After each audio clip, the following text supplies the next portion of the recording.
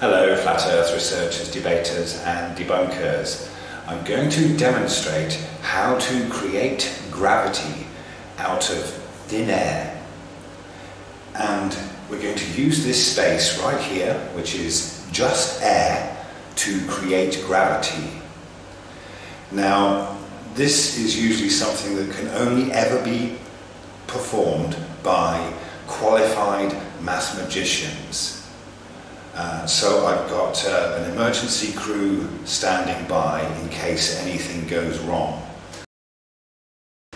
Now all we need is some water and a, a little pumping device here and a common or garden balloon.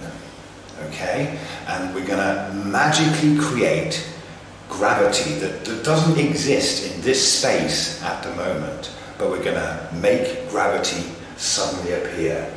So, all right, and now stand by. Uh, are, you, are you ready, group? Okay, right, they're ready just in case they've got fire extinguishers and everything, just in case anything goes wrong.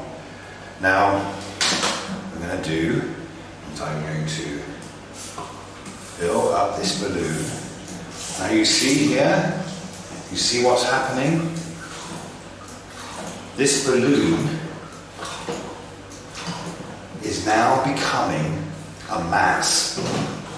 Oh, you see, nearly, nearly, nearly messed up there, nearly had water all over the place. Could have been dangerous. Okay? You see? I have created a mass out of thin air, just using water. And now we're going to see that all of a sudden, this balloon has created gravity where none existed before. Okay? You ready? Three, two, one. There you go. All right?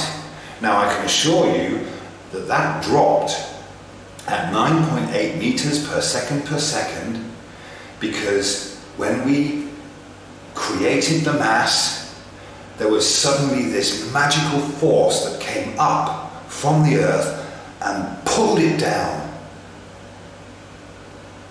And that is how you create gravity in your own home. Thank you very much. It's all right, guys. Okay, it's safe now.